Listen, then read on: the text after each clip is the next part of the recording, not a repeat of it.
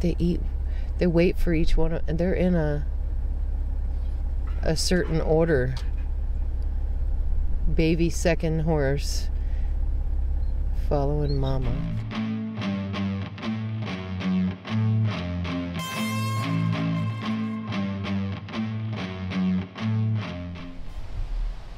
Good morning. So it's the next day. We uh, did our laundry and then went and got some grocery shopping done. I'm on a shaky table. So we're leaving my Minot, Minot, uh, North Dakota, and we're headed to Medora, South Dakota. Hmm.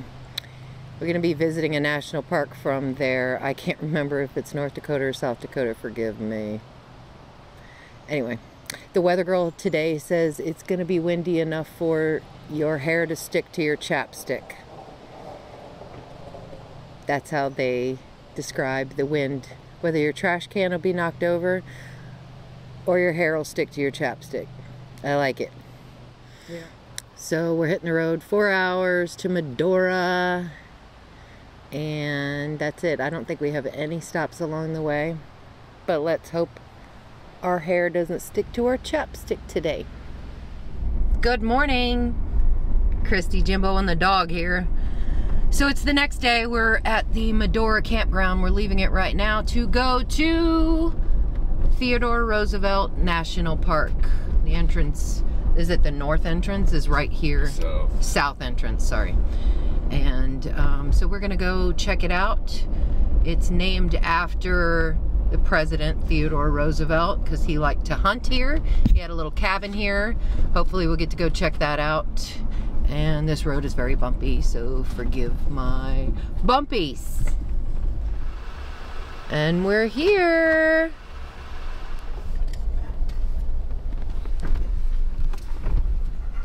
good morning, folks. How are we today? Good morning. Fine. I'll set any maps for us this morning. Um, yes, please. there you go. Visitor Center opens at 9 with the park. We never close. Head on in. Thank you. Our first critter sighting.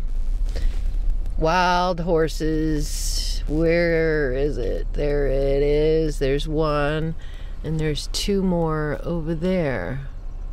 Look like they're coming this way.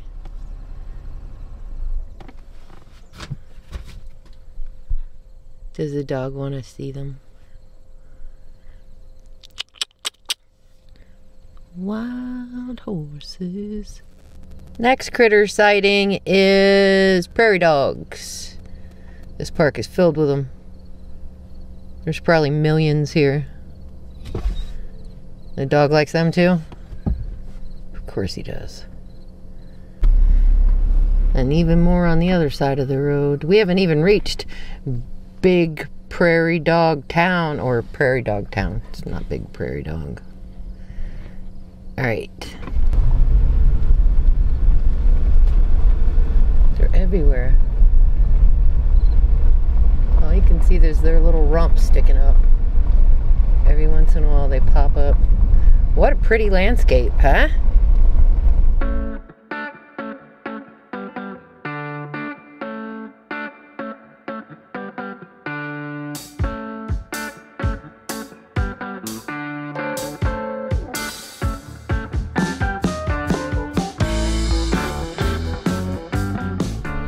One could hope if we see patties that size that we can see what makes patties that size.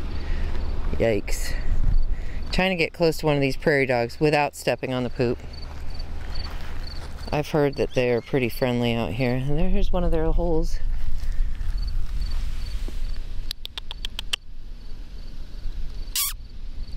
Here, kitty, kitty, kitty, kitty. I don't think that works but they're all over the place and there are some deer or pronghorn out there not sure or pronghorn deer. Actually they're more related to a rat than they are deer aren't they? Pronghorn are. Hi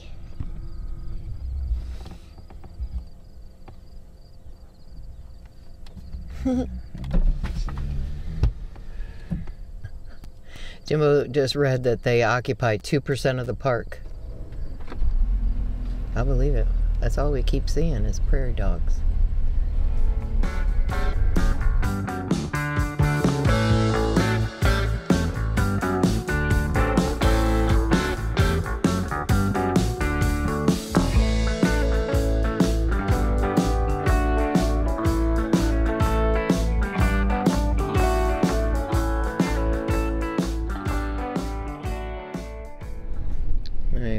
Stopped at the Boicourt Overlook. This is the best spot to see the Badlands.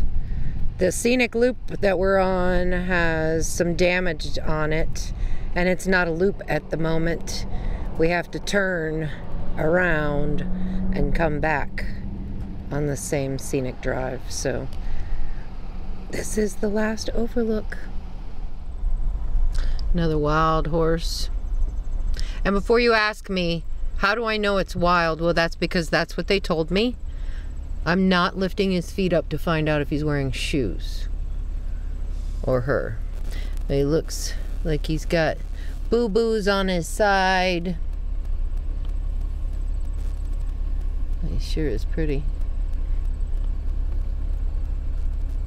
back leg looks. Mm-hmm. Oh, it's a boy.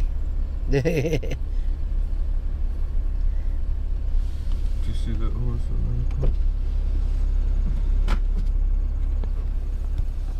Gulliver, look at the horse. He sees it.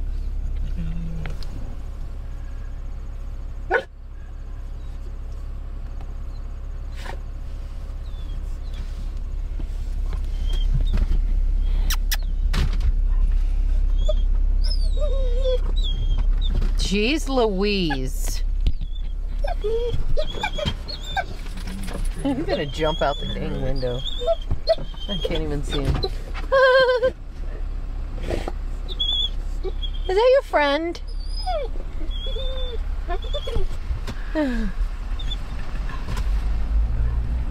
bye bye, horse. Okay, we're on the scenic loop in the national park here, and we're about to have to turn around. Told you there was road damage up ahead. Um, so we're turning around, but I wanted to explain that this national park is split up into three units. The first unit is the north unit. Then there's Elkhorn Ranch. And then there is the south unit. And the south unit is where we have come in and Jimbo's pointing something out. Horse so I need... Oh, there's a wild horse way over there. You're not going to be able to see it. Two of them. He spots all the critters from afar. He's got better eyes than I do. He's got them eagle eyes. So three parts, we're in the south unit. We're gonna go to Elkhorn Ranch. You can reach Elkhorn Ranch from here, and I think you can reach it from the north unit, but it's like a back road thing, but you can't reach each unit from, you can't reach the north unit from the south unit, so. We'll visit this one today. We've got a few days here, and uh, we'll visit the north unit maybe tomorrow we're gonna continue to look for critters here. To the Lakota, this land is Mako-Sika, meaning bad land or bad earth. French fur trappers call it Le Mauvais ter uh, Traverser. That's my French. Meaning the bad lands to cross. Anyone who has experienced the Badlands understands exactly how this place earned its name. I don't think necessarily that it's because nothing grows here, but I maybe maybe it does have a tough time growing things, but to travel across these lands is pretty treacherous. During the winter times, when it's 40 below, it's pretty unforgiving. So these are the Badlands.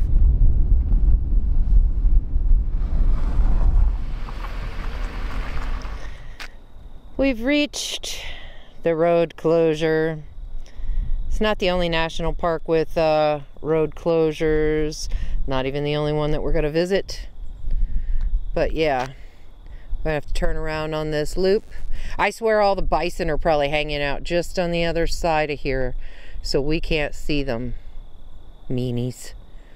All right, let's go back through the loop. No shortage of wild horses though. Look at the beauties. Oh, they're having a good old time. Oh, stop.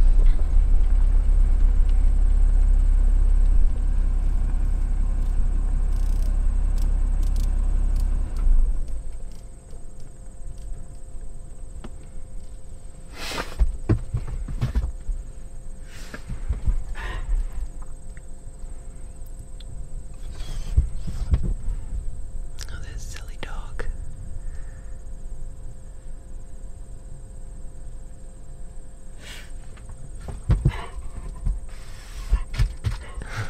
The dog is shaking the whole car. How fun to be wild.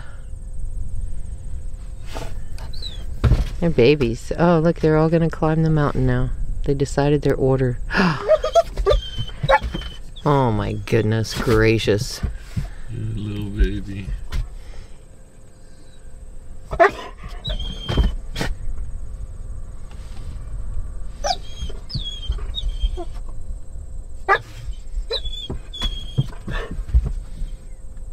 Your dog is a spaz. There they are, stop. Look at them. They're climbing the mountain. Look at them. Oh. How neat. Like they eat, they wait for each one, and they're in a a certain order. Baby second horse following mama.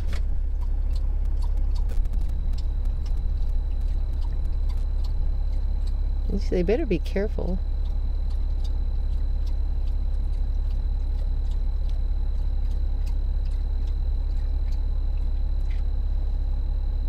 They all wait and regroup and then go some more. I didn't know we were going to see so many wild horses here. And again, I know they're wild because the park information says there's wild horses in here. Again, not checking shoes. You can hear them clopping.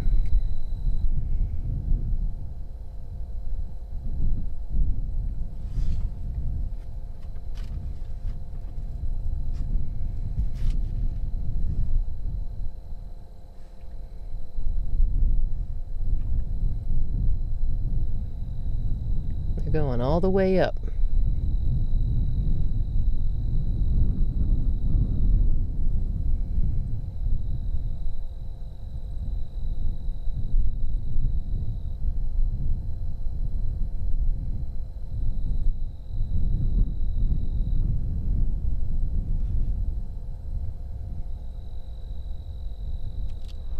Finally found the cow patty makers. Oh, they're not cow patties at all, are they? They're bison patties. Ooh, it smells like. Mm, oh, we're right by the Coal, coal vein. Right here, coal fire vein. coal vein fire. Thank you, Jimbo. Coal vein fire. Can't really see anything on it, but there's smoke rising from underneath. And now that hill is blocking the bison. Man, we'll see some more, don't worry. We'll see the sign, coal vein fire ahead, do not report. Bison are right over there on the other side of that hill.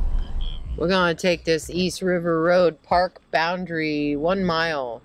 It's a dirt road. Maybe it'll take us to Elkhorn Ranch. The map does not say it does. But sometimes they leave things off maps because they don't want you to come in the back entrance.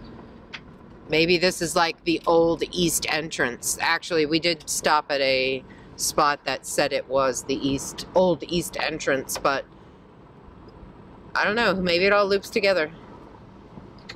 We shall see. You never know if you don't check it out. But look at this view. This park is really pretty. So it turns out it's an old farm road. Doesn't take you anywhere.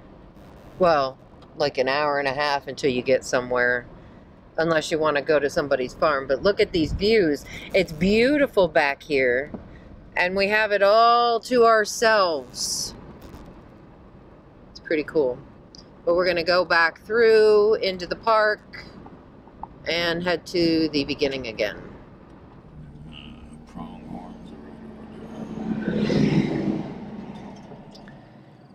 Pronghorn deer. No, they're not deer. Stop it.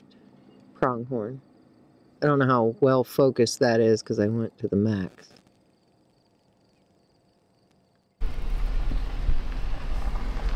They are fat.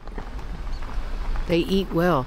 They got a whole village up underneath here, so they call this a prairie dog town. Look at them. So cute. Oh, there goes the dog.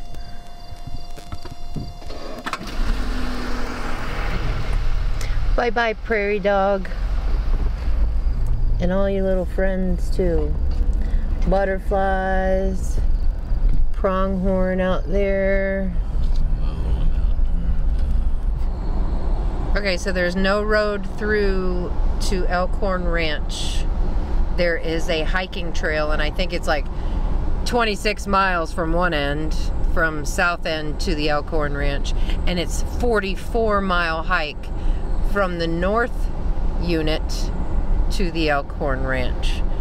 That's more hiking than I want to do. You want to do any kind of hiking like that? No. Okay.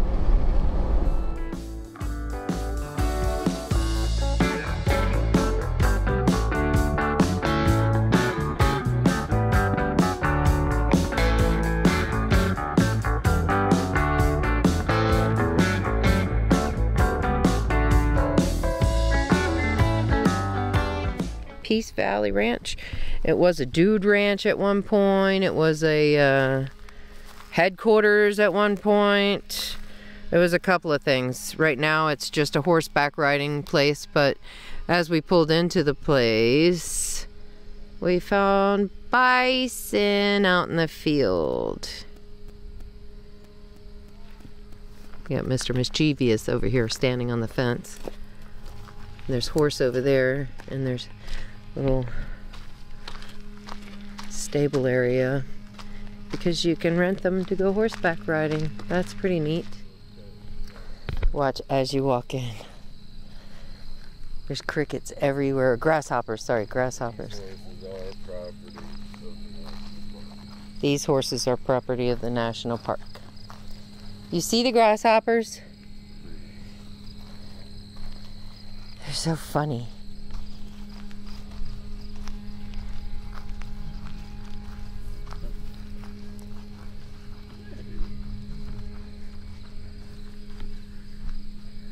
Hi.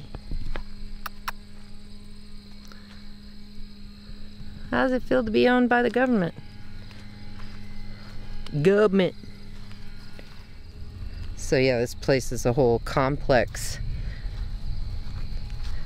Can't imagine the whole ranch life out here back in the day. There's a couple of old buildings here. Well, we're always distracted by the critters. There's the bison way out there.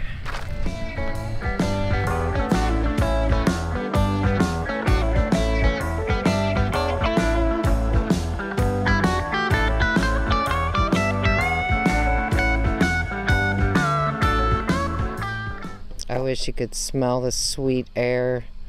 Oh, it smells so good. I don't know what it is in the air here. Jimbo says it's nature. bye bye, bison. We got lucky.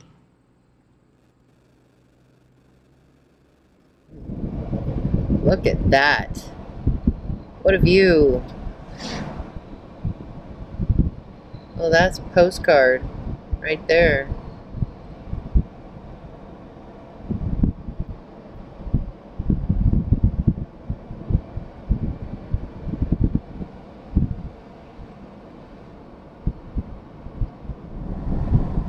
This is the overlook of Medora. We're, there's our campground right there. We're still in the national park. That's how close we are to the national park. Oh, hey, Jeep, that's our neighbor right there.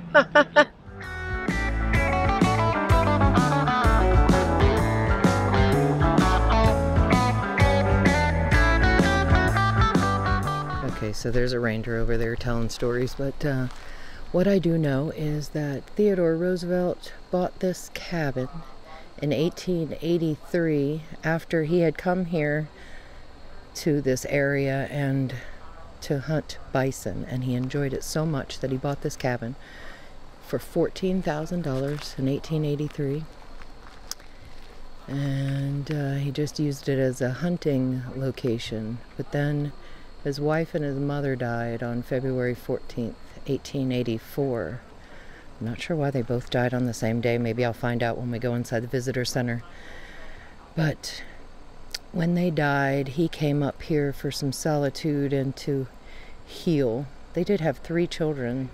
I guess he left them with family or a nanny or something, and so he spent a little while up here healing and uh, went back and took care of his kids. And he became president, our 26th president, in 1901 and that was because the president before him was assassinated. So at 43, he became president, our 26th president, and he was president for all eight years until 1909. Pretty neat. We're going to go inside this visitor's center. I think it has a museum inside. Wow. Look at the size of those antlers.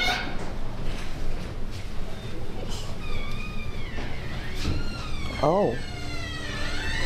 Jimbo and I have still yet to see a moose.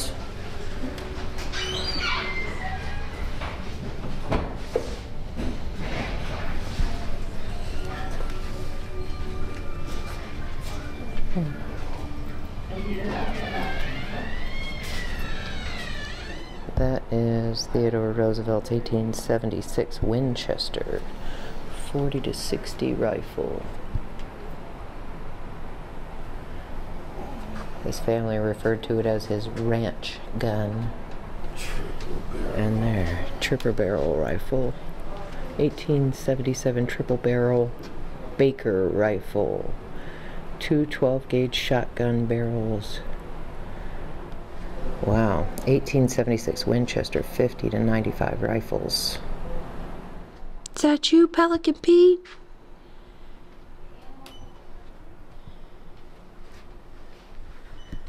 Nice Teddy Roosevelt on a horse.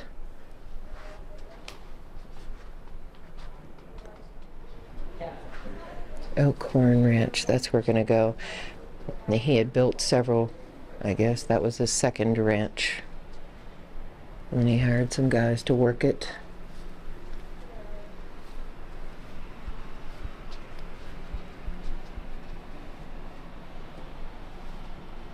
Side saddle and what Mrs. Sewall used. Huh. Mrs. Sewall, Bill Sewall, and what was the other guy's name? Were the ones he hired to take care of Elkhorn Ranch. A handkerchief he wore during one of his campaign articles.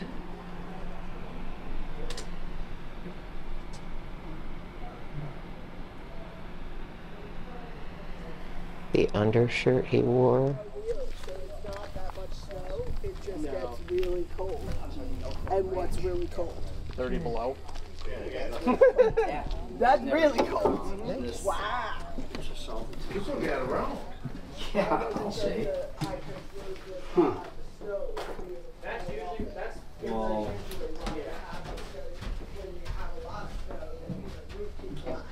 But it turns out we don't have as much snow. It's more cold. Um, can I take, I, I wanted to take a picture of the, and then, uh,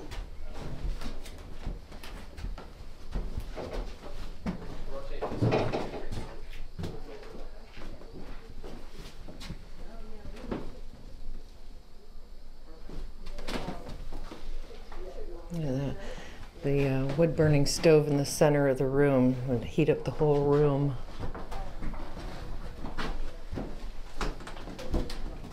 Food and warmth. Yes, it's kitchen, right?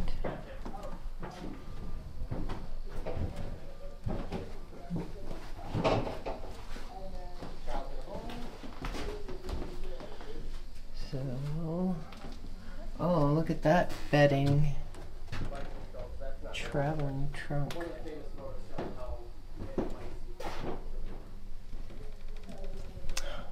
says TR on it. I don't know if you can see it.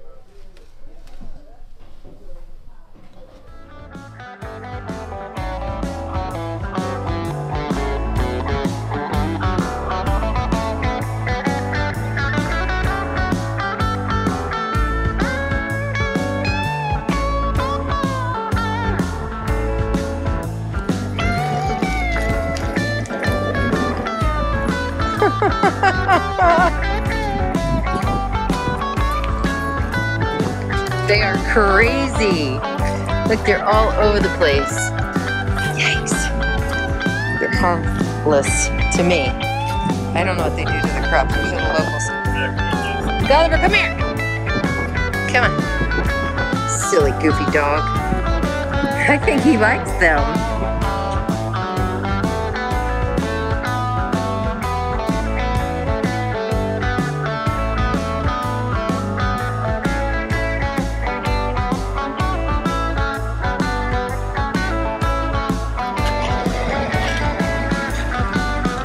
And one just landed in my hair.